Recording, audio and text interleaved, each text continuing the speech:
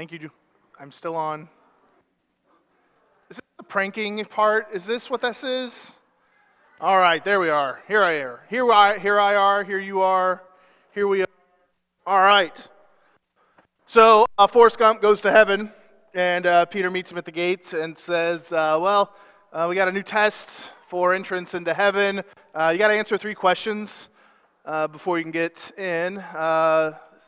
Just to make sure that, that you're good to go. So you got to tell us uh, three things. You got to tell us uh, how many seconds are in a year, how many days of the week begin in T, and what's the name of God. And Forrest Gump says, Mom always said life was like a final exam. It's hard. But I know the answer to those questions. He says, okay. He says, well, let's start with, uh, let's start with the first one. Uh, how, many, how many seconds in a year? And uh, Forrest Gump says, There's 12. And Peter looks at him and says, 12. And he says, Yeah, January 2nd, February 2nd. That's right. That's right. He says, All right, all right, all right. It's not the answer I was looking for, but you're right. So I'm going to give it to you. He says, All right, well, how many, what, what are the days of the week that start with uh, the letter T? And he says, Oh, well, that's, that's today, tomorrow. And he says, Oh, uh, again, not what I was thinking of, but sure, sure, that, I, I guess that counts. So I'll let you do that. Uh, he says, Well, you're, you're two for three, so one more and, and you can come on in. He says, Well, what are, what's the name of God? And he says, I know, I learned that in church growing up. God's name is Andy. He says, Andy? He says, Yeah, we sang a song. Andy walks with me. Andy talks with me. Andy tells me I am his own. And he says, opens the gates of heaven and says, Run, Forrest, run. so jokes, jokes are you know funny. They're unexpected. They kind of put us in this anticipation with a with a good result uh, coming out of that. And uh, there's something about us that uh, we excite that. We love waiting for that. We we want to see that.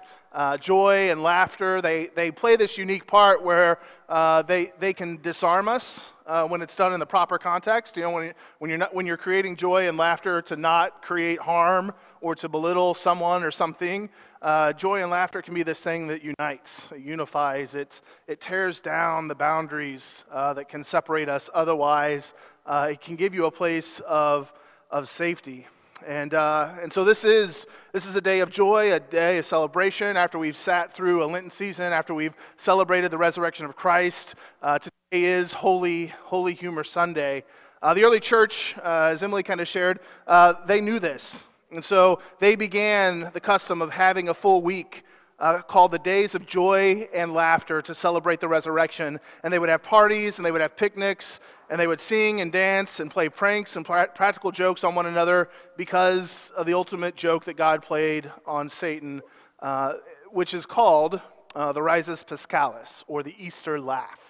Uh, that all of creation has a chance to laugh uh, laugh in joy and laugh in life, but also laugh against death and against Satan uh, that he was unable to win.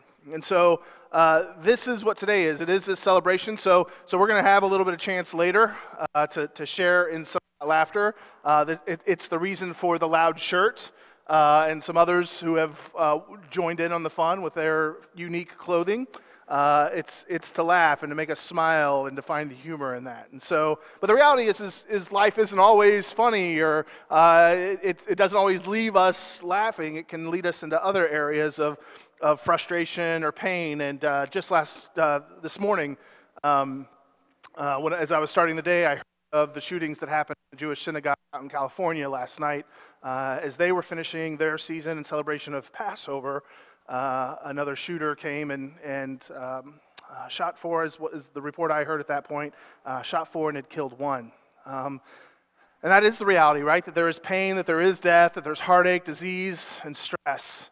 In fact, even if we go back and watch uh, every, every Good Friday, I go back and I watch Mel Gibson's Passion of the Christ. Um, because it takes me, uh, puts me in that moment uh, of remembering what Christ has done, that I don't take that lightly, that I don't take it for granted. Um, and yet, despite what the story of Christ is, which is the story of the resurrection, he, he made that journey, but Mel Gibson's movie maybe gives 10 seconds to the, to the story of the resurrection.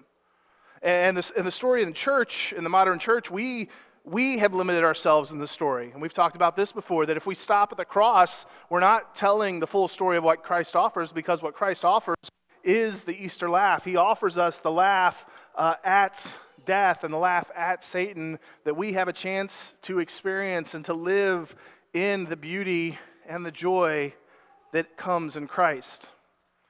And yet we still miss that sometimes in churches. Some of us know churches uh, or know church people who, uh, when you look at their life, boy, there's, there's not much joy. Uh, there's, there's more complaining and negativity and, and furrowed brows and uh, whatever when you're around them. And, and uh, what, it's all, I'm always intrigued uh, when I spend time with those people because when I leave, it's kind of like I want to shower and just be like, I want to get the negativity off. Uh, I want to get off the, the, the, uh, the way they just have, have something to tear down or complain. And you got to find the joy. You got to find the good in something. You can always find what's bad or what's wrong or, or what's going to take you into a, the spiral of, of non existence or non life um, and tear other people down. But I don't, I don't see that in the story of what Christ offers. And so uh, we, we have to put the long faces away and, and find a chance to celebrate and a chance to find joy.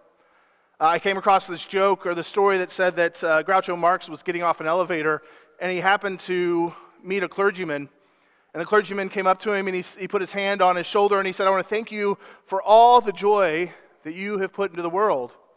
And Groucho Marx shook his hands and he replied, I want to thank you, Reverend, for giving me a place where the joy was taken out of it. Uh, and sometimes that's the reality that, that churches, pastors, the faith has not done a good job of, of instilling a sense of, of joy and excitement. And, and there's a revival that needs to happen a revival of joy, of trust, of, of faith in God. Uh, Nancy, Nancy reminded me of this. Is Nancy in here? Is she still in the kitchen? Is she still in the kitchen? She's, no, Nancy. Hi, Nancy. Nancy reminded me this week of uh, Ray Stevens' Mississippi Squirrel Revival, right? Uh, right? Of, of um, and the way the story goes in Ray Stevens' songs, he's always telling this, this humorous story, but this one's of the young boy who has to go down to Mississippi to live with his family uh, for the time being. And he, he's out there being a boy, and he captures a squirrel and puts it in a box. And he happens to bring his box to the first self righteous church, uh, which is where his family goes to.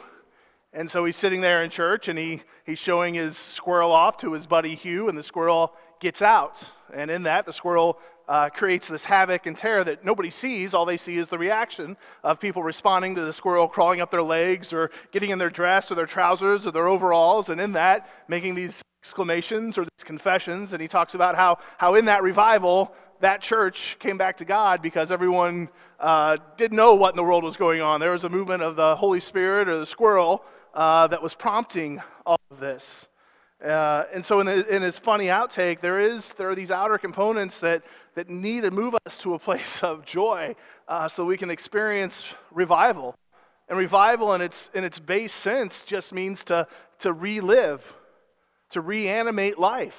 Uh, and, I, and, and so the reality of the resurrection is that life is animated now.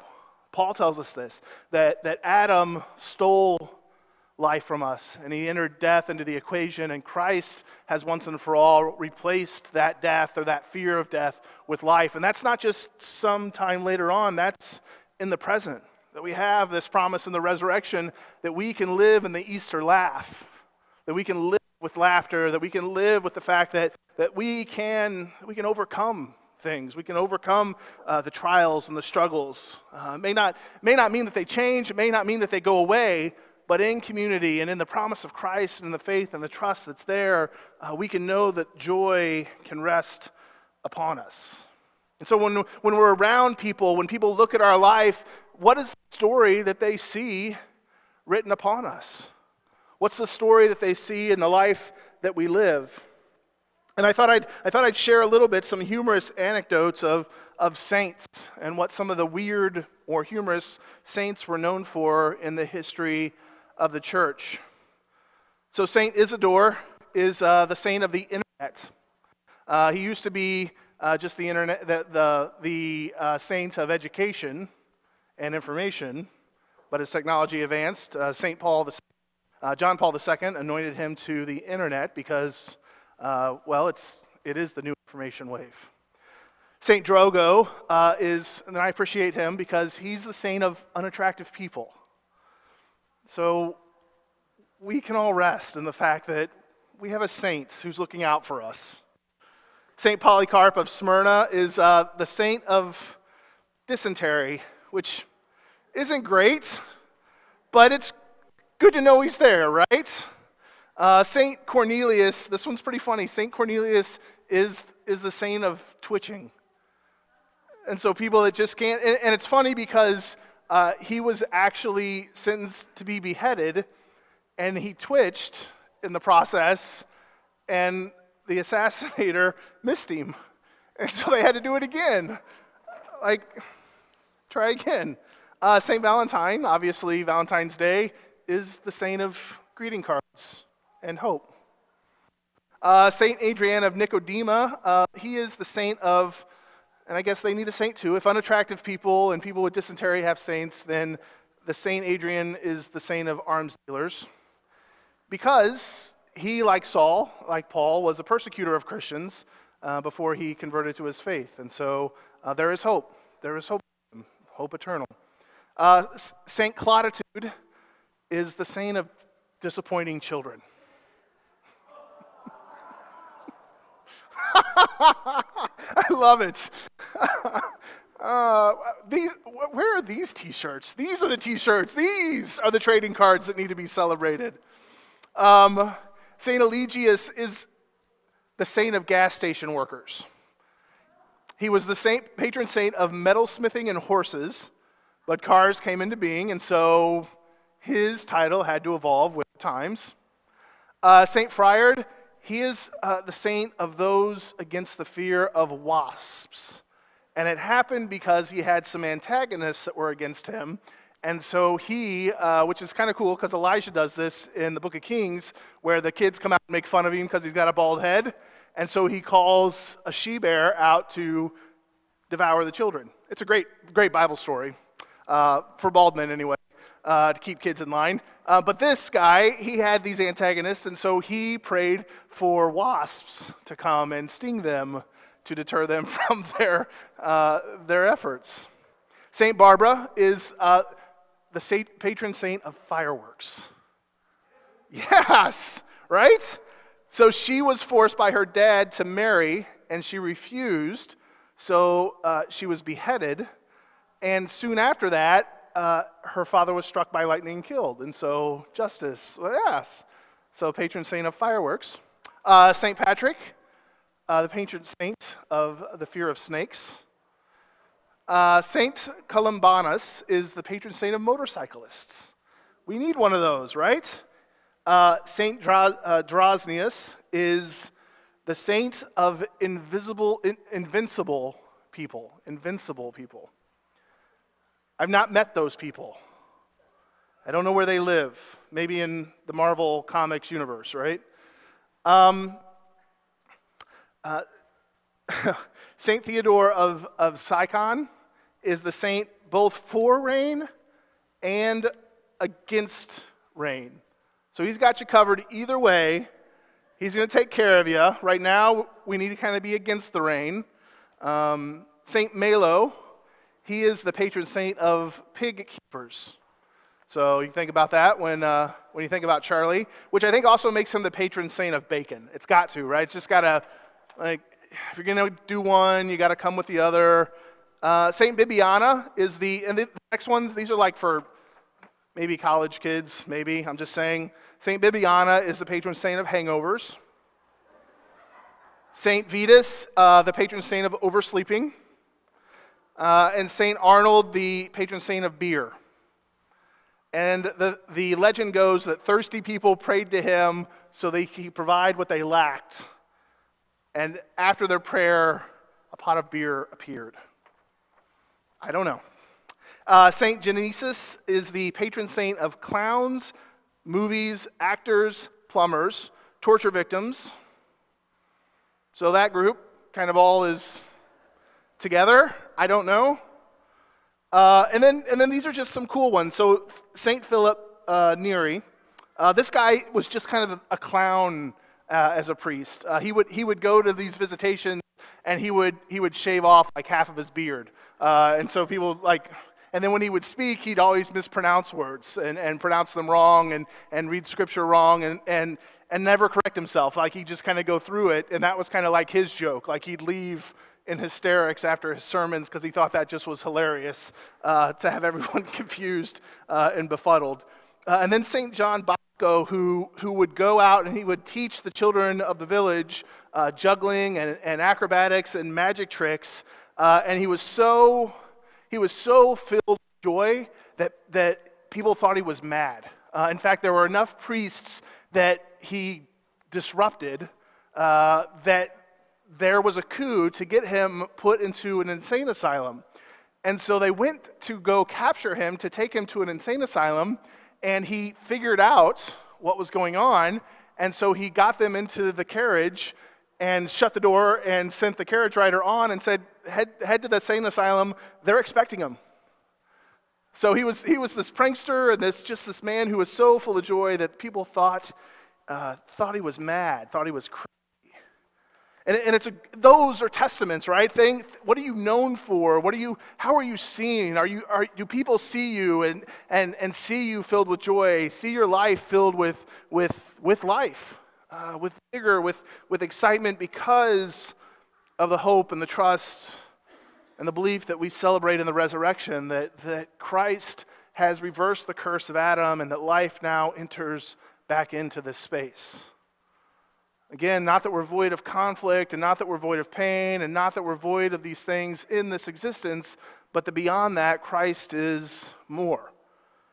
And Jesus offers us this. He, he, he encourages these things before his uh, as, he's, as he's preparing for this in, in John's gospel, uh, he says, uh, before he's betrayed, before his physical suffering, before his death on the cross, he says in John 15, 11, uh, I've told you these things so, you, so that you'll be filled with joy, and so that your joy will, will overflow. And then in, in chapter 16, he continues on with this, and he says, I tell you these things so that you can have peace in me. Get it, peace in me, not peace apart from me, uh, not peace away from me, but that in me you will have peace. For here on earth you will have many trials and sorrows, but take heart because I have overcome the world. So we can overcome the world as we are in Christ. That's the joy and the hope that we hold on to, that we get to sit in as we watch this. And so we hope for this. We, we look for this. We move for this that, that joy should, should radiate from our life and from our stories and from our engagements. That people think of us in regards to, uh, after the fact, the way that they think of the saints is what is the story that they left? What is the peace that we'll remember them for? And so let that be the image that you remember that the joy of Christ, who is risen from the dead, who sees his friends again, who eats breakfast, makes breakfast for them on the beach, who, who shows up and shows him the wounds in his incarnation, and then asks them for food that they may have to eat. Let that be the image that you carry forward in joy and in laughter, that we celebrate the resurrection, that we see it through the lens of the good news that Christ is, in fact, alive. And that should bring us hope, and that should bring us life. And that should bring us courage as we reach out in a world that's searching for those things. Let's pray. God, thank you for today, and thank you for the resurrection of Christ. And thank you for, for the ability to, to laugh and to prank and to, and to sell, uh, share good stories uh, and, and good jokes. And that we can, that in laughter, we can find safety. We can find uh, a, a, unique bond that binds us together uh, in Christ and in that gift and that we can experience the life uh, that, that was stolen through Adam and restored uh, through Jesus. Let us live in that, and let us experience that, and move towards that hope. In your name we pray. Amen. So typically, this is when we do our time of connecting, and I thought the best way for us to do the time of connecting this morning is by the sharing of humor, humorous anecdotes and jokes. And so uh, we're going to open it up, uh, similar to the way we do praises and petitions. If you have a joke that you'd like to share. You can even look it up on your phone if you need to, if you don't have one ready. But if you have a joke to share, you're welcome to do that. So I, have got a few that were emailed in of people that knew they weren't going to be able to be here. So the question was if April showers bring May flowers, then what do May flowers bring? Thank you. Pilgrims. This is, was from Kathy. Uh, and then Jim, Jim said this. Uh, two boys are walking home after church talking about the sermon, and, and one asked the other, So, um, you know, what do you, what do you think about the devil and, and all this stuff? And the other one says, Well, you, you know how Santa Claus thing turned out and, and the Easter Bunny, that thing turned out? It's probably your dad. Uh, and then another one, uh, did, did I see Chastain? Chastain, do you know how to get a guitar player to play softly? What's that? Get, give him sheet music. Yeah, it's just can't. It's so, uh, any jokes? Any jokes you have to share? I see John Ray here, so we could be in for a treat. We have a joke? Does she want to run the mic? Oh, magic. Even better. All right. We're going to do this. Does she need a table? Oh, okay. I love it. Magic trick. Here we go. This is not witchcraft. Nobody needs to over exaggerate. Hold on, hold on. I can help you. All right. Wait, wait. All right, go again. I have a ball and I'm gonna hide it. Abracadabra. Whoa! You just got rid of it. Can you do it again? Can you do it one more time? All right. I saw this up close. She's got a ball. She's got her little cup. I have a ball. Can I have it? Keena's got the ball now. No, she's hiding it. She hi- she's hiding it. And then she puts the lid on the cup. Abracadabra. Ball. Give her a hand. Give her a hand. All right. Come on, other jokes. Do you want to run the mic for us? If anybody's got a joke? Oh, come on. Y'all pretend like you're not funny. Oh, right over. There we go.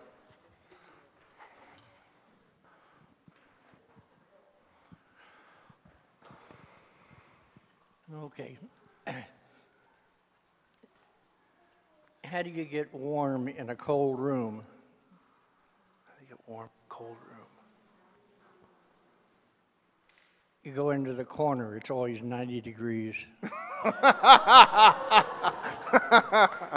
Uh, uh.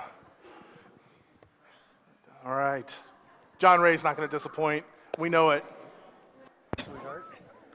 I don't know if this is a joke or not, but I use this all the time when I start talking to anybody that has kids.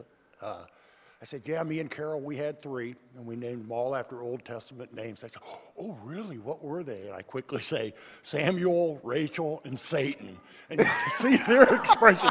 Well, you say, What? yeah. Don't ever call your kid Lucifer or Adolf. Save that for the pit bull.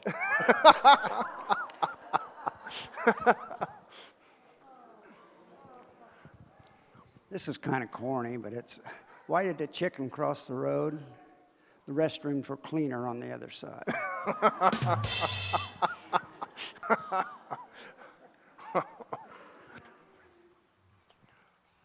All right, Denise.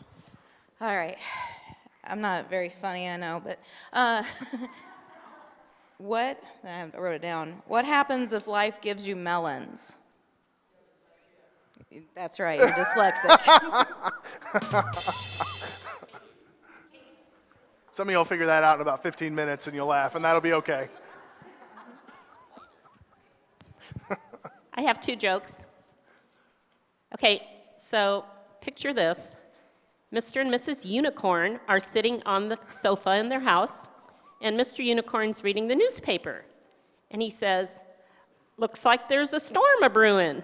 And Mrs. Unicorn says, Well, I'm really happy we didn't go on that cruise thingy with your nut job friend Noah.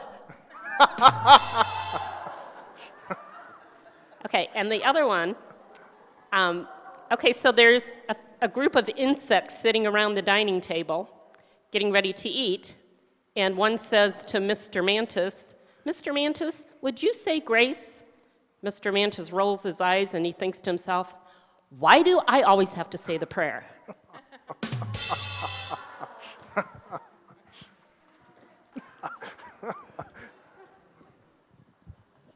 Okay, I just Googled these. So um, here's one from George Burns.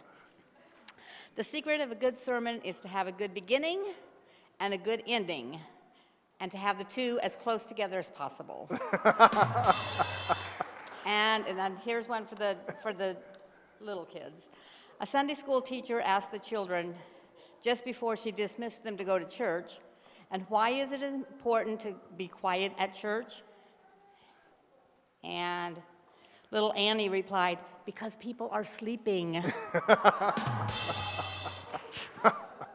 Work your way across.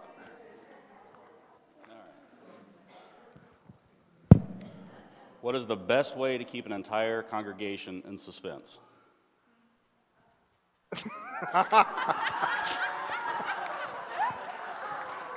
All the way over. Petey, Petey's got one.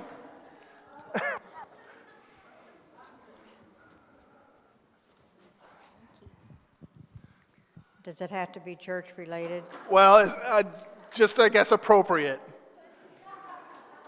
Well, it's kind of sick, but there's no bad words. Okay. Guy's in the hospital, the doctor comes in to see him, and he said, Well, I have some good news and some bad news. He said, Which do you want first? And he said, Well, give me the bad news first. Maybe the good news will cheer me up.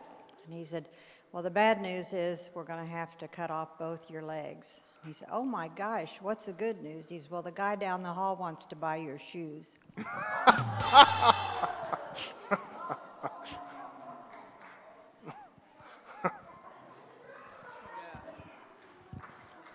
Okay, so what's the difference between a good joke and a bad joke?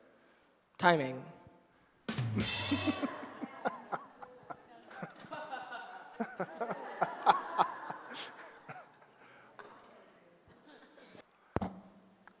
Come on, here's your chance. I know most of you can't tell the jokes in here. All right, Mike. Mike. All right, so why are all hot dogs alike? Because they're inbred. All the way in the back. That's it. It works. Okay, what kind of church does this anyway?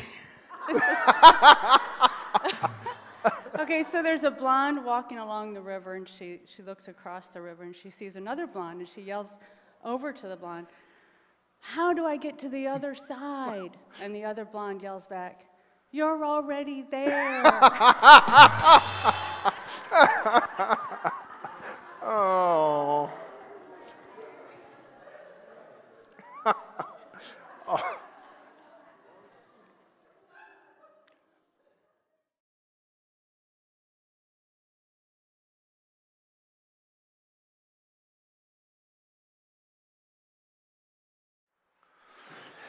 As you head into your week, may you have a joyful heart and a holy sense of humor. May God grant you the gift of faith to be renewed and share with others each day. May you live in this moment only looking neither to the past with regret nor the future with apprehension. And may love be your guide and your life a prayer. So go now in laughter and go in grace and keep the Lord in your heart and a smile upon your face. May God be with you. Go in God's peace.